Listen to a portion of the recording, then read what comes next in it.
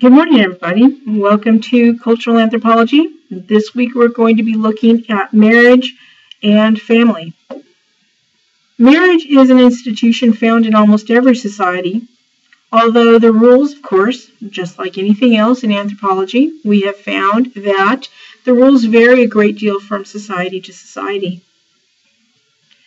In our own culture, we have traditionally thought that marriage is best to be arranged between two consenting adults, usually one male and one female, although, of course, that is changing as we become more accepting of same sex marriages. But still, we hold it as an ideal that our marriages be based on romantic love and that we be married to only one person at a time. If things don't work out, we're pretty much free to divorce and then marry somebody else if we please. In other societies, this would be considered to be very, very strange. In some societies, uh, parents arrange the marriages for their children. Marriage is simply too important an institution, both politically and economic, to allow it to be determined by such transient emotions such as uh, sexual uh, interest or romance. How would you feel if your parents uh, arranged a marriage for you when you were a child?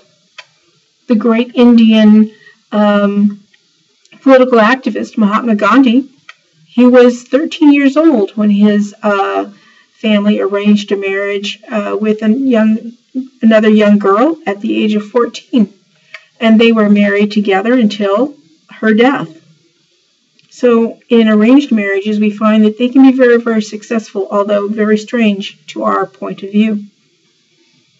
So I hope you enjoy learning about marriage customs and the purpose that marriage or other types of permanent relationships hold in different societies. This week, uh, you'll need to start preparing for exam two, which will be held next week.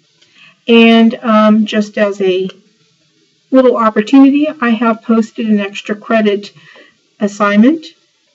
So if you have any questions, of course, email me or give me a call during office hours or I will see you next week. So have a great week and stay nice and warm. Thank you.